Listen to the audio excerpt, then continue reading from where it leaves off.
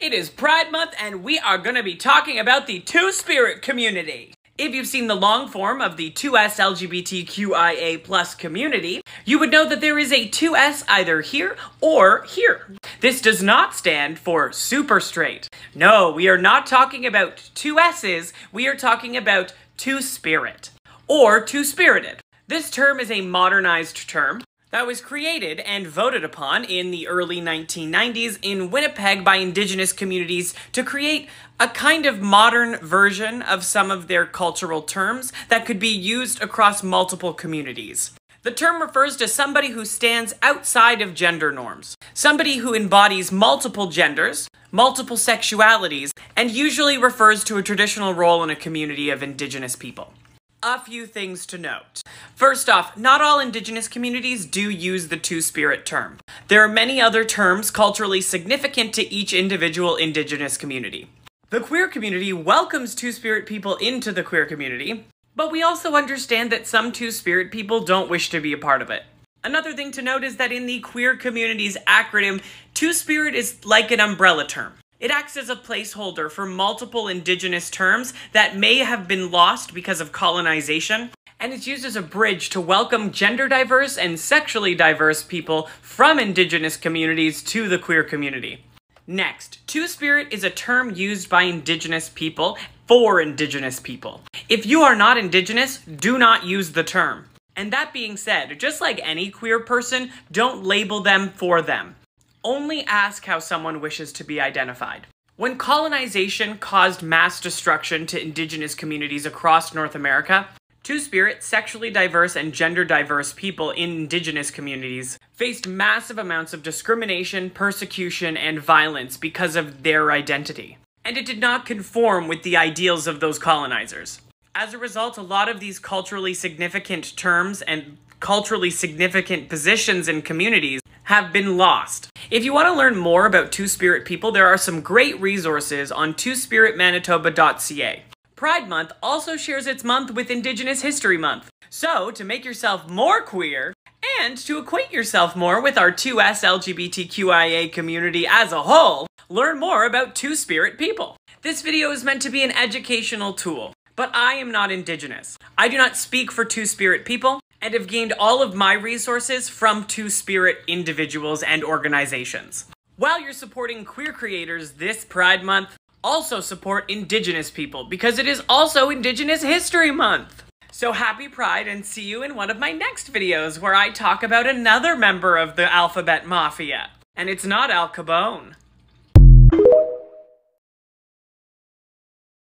I'm gonna have to like bring you down to earth for a sec.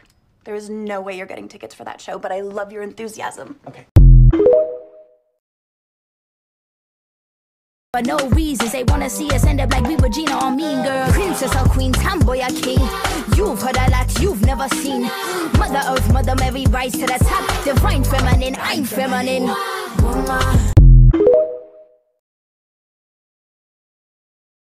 A gentle reminder that being two-spirit is not synonymous with being queer and or trans. The phrase has a unique history considering it was translated from an Anishinaabe word and became popularized in the 1990s. Two-spirit is meant to be an all-inclusive term unified and describing various gender and sexual identities unique to indigenous communities. Each indigenous community has a unique and complex understanding of ontology that may or may not be similar to understandings of gender and sexuality. Yet Two Spirit has historical, cultural, and political implications for those who do identify with the phrase.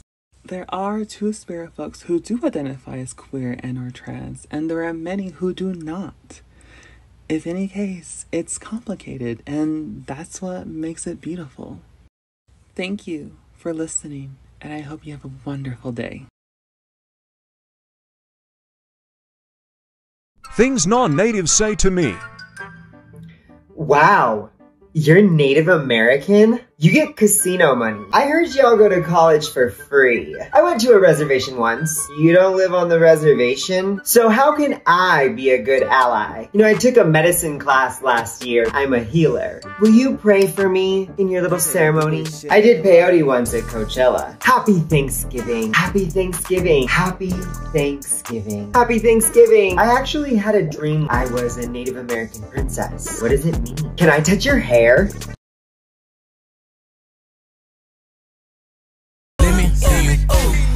Shawty got a big old booty, yeah. Twerk, yeah. Take that ass. Twerk, yeah. Let me, and she gon' twerk. Shawty got a big old booty. Let me see you put in work. Don't you even know how to be a real Indian? I guess not. Well, shit, no wonder. Jeez. I guess I'll have to teach you then, ain't it?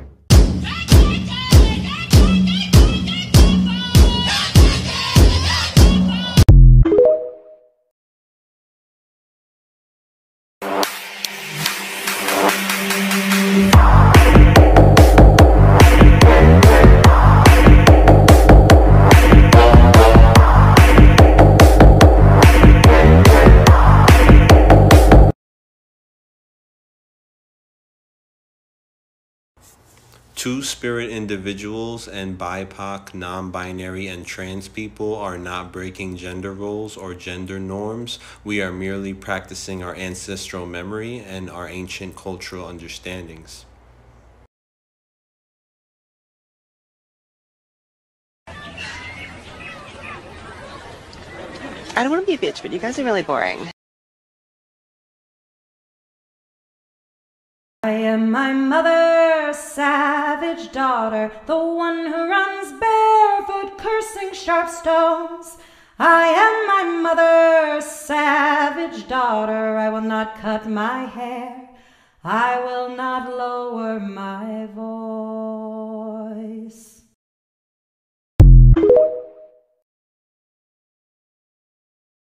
I just got this comment on one of my videos saying, Hey Kai, I'm a non Indigenous person. Can I identify as Two Spirit? And before I even got a chance to respond, somebody else came and commented, Just identify as non binary. It's the same thing as Two Spirit. Really quickly, let me explain why that's ignorant. You see, many indigenous nations use the term Two Spirit as an English colonial settler term, kind of like a placeholder term that attempts to describe what exists individually, uniquely in so many different nations, something that is so beautiful and vast and complex. Things like sexuality, gender, ceremony, names, roles, culture, relationships, and so many more. So even though many of our beautiful Two-Spirit kin may identify as non-binary, saying that non-binary is the exact same thing as Two-Spirit essentially just erases all of those beautiful things that I just mentioned. Let's remember that Two-Spirit is spiritual. It's community-based and it's sacred. And that is exactly why it is uniquely and exclusively for Indigenous people.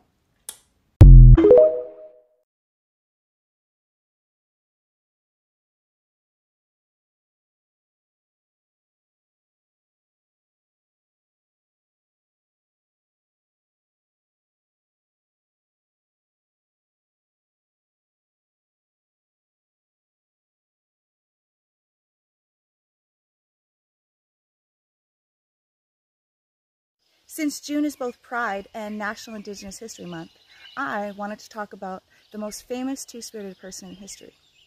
Even though the term two-spirited wasn't coined until 1990, the Zuni tribe from New Mexico had Lhamanas, a socially accepted third gender role. Traditionally, there were biological males who took on the social and ceremonial roles of women. We'wha was born in 1849 to the Zuni tribe, but was orphaned very young. That year was the first year they had interactions with Americans, and the colonizers brought smallpox, which killed many, including We'wha's parents. Fortunately, they were raised by their paternal aunt, who recognized at a very early age that they were demonstrating traits associated with Lhamanas. Their aunt was also influential and wealthy, so it afforded them opportunities which they may not have otherwise had. While receiving training specific to men, they also received training under female relatives, such as domestic skills and ceramics. Now, pottery was usually for women, and weaving was usually for men, but We'wha became accomplished in both artists and trades.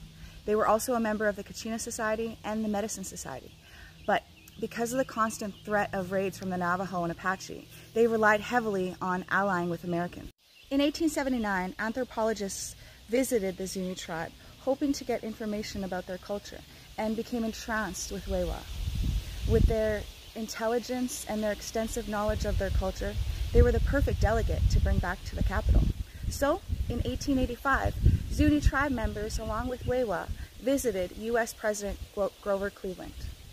The Lhamana was introduced as a Zuni princess and garnered quite a lot of attention because women rarely participated in these delegations. By being recognized nationally as a cultural ambassador, We'wha ensured that the Zuni tribe was one of the most well-known tribes at that time. More than anything, We'wha's story shows us how breaking typical gender roles accelerated their creativity and success. One day, Pride Month won't be just a month, it'll be the norm. And one day, other gender roles will not only be socially accepted, but nurtured. I'm Two Spirit, but I get a lot of questions wondering what it really is. It means you are indigenous and you use it as an umbrella term. It's an umbrella term for those who want to identify with it with their gender or their sexuality, but it also can be very spiritual. I identify with it spiritually, so that means that I believe that the Creator has given me two spirits, and those two spirits are a feminine spirit and a masculine spirit. You can compare it to being gender fluid, but in this context, it's not really gender fluid. So basically, two spirit is a very fluid term. You don't identify with it in one certain way. It is a very tailored identity. It's kind of like anarchy without the chaos. That time I closed out a fashion show in London. Stacking pesos all in a house safe. Still in that race, getting close to the finish line. To the finish line. Lambo parked in the driveway This is what authentic representation looks like. One me and two freaks in Daily reminder that Two Spirit people do not owe you androgyny and there is no correct way to be Two Spirit. All you need to be Two Spirit is native and hot. Hi, I'm Kai, and let's have a talk about the use of the term Two Spirit versus Two Spirited. I hear most people who are Two Spirit identify themselves or other people by saying spirited, whereas I, for example, identify myself as Two Spirit, and I identify other people who identify that way as Two Spirit people. And I think the main issue comes from the fact that Two Spirit is a noun, is who we are, whereas Two Spirited is this completed adjective that sounds sort of past tense and describes something. And personally, that language feels kind of distanced and a little foreign. The ed in spirited makes it seem as if some event had happened in the past that just like poof, all of a sudden you would become spirited. What even is spirited? How does one become spirited? See, I am a two spirit person. I am spirit. Anyhow, regardless of how you identify or what words you use, it doesn't really matter. It's not that big of a deal. It's just food for thought. Ishnish. Can we just be honest? I was never as bad as you made me out to be. You just needed me to be bad so you could justify how badly you treated me.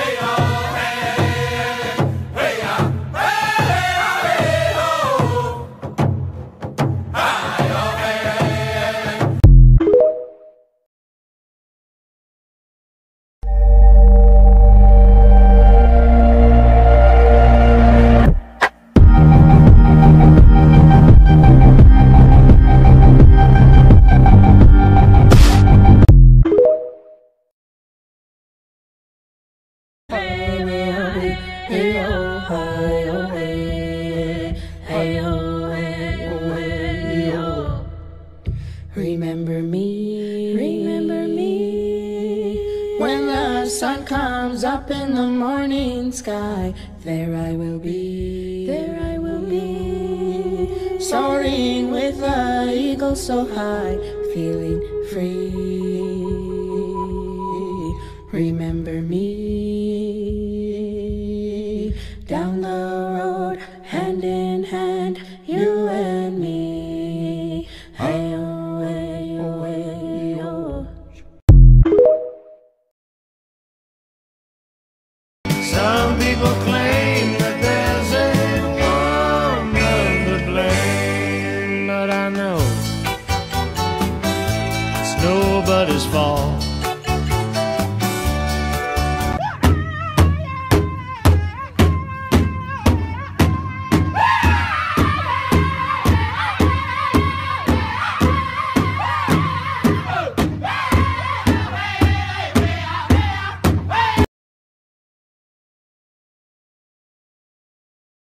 Hey, good morning. Here is a morning smudge from my house to yours.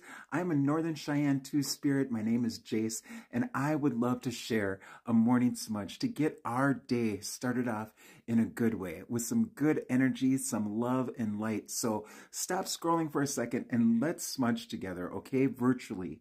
What I would like to have you do is just envision this smoke filling up your room. Look at this. This is sage. Imagine this filling up your area right now. You can feel it. You can smell it. What I'd like you to do is rub off your head.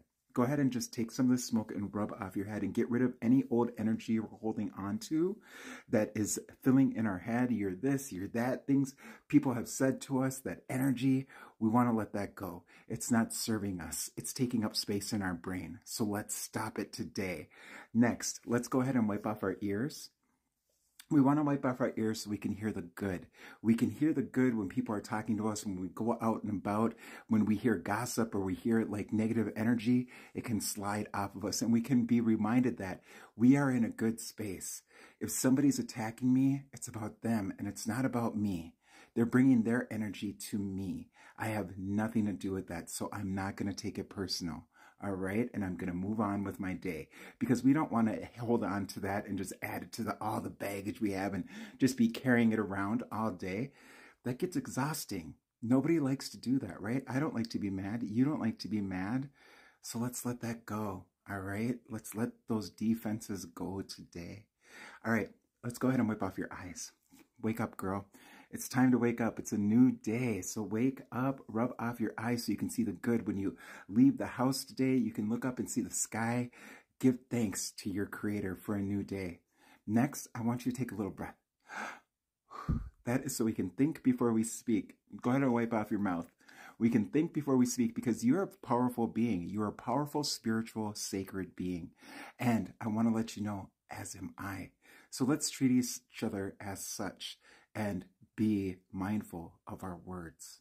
All right. Next, I want you to go ahead and put your hand on your heart. I want you to put your hand on your heart and think about all the times that you've been abandoned, all the times you've been hurt, you've been forgotten about, you've been made fun of, you've been treated unfairly, those things that we hold on to, loss of a loved one. Deep breath. Let's start that healing process today and know that we are loved, we are capable of loving, we're capable of forgiveness, and we're capable of living and not just surviving. Start that healing process today. When we love ourselves and we forgive ourselves, we're able to love and forgive others. I just want to remind you that. Next, I just want you to envision the smoke covering the rest of your body, all the way down to your feet. Oh. And there we go, my friend. We have been spiritually cleansed and we are ready for a new day. I wish you nothing but peace, love, happiness today, strength if you're facing a difficult time. But let's get through this day together. Creator blessed us with another day. We're able to open our eyes. We're able to walk, able to talk, able to see, able to touch, able to feel. I know there's a lot of people that wish that they could. So be uh, mindful and remember gratitude today. I love you. Join me tomorrow for another morning smudge. Hit the like button, hit the add button if you like these. Leave me a message and share this with your network. I love you. I will see you tomorrow. Drink water, help an elder.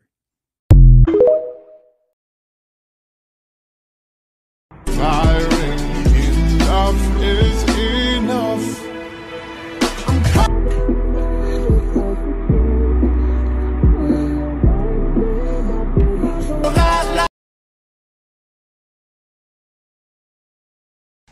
That'll do it. you don't have to worry about me. You do not have to worry about me.